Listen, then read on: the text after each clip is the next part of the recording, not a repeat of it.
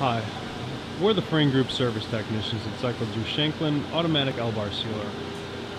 Before powering up the machine, it's recommended to read the manual in its entirety. The manual will be placed with the machine when it's shipped. The voltage on the Shanklin is currently set for single phase 240 volts. I recommend a field service technician to assist with your startup and training on the machine. Please contact our field service manager to meet all your field service requirements. Here's the samples we'll be running. We will be running both sizes.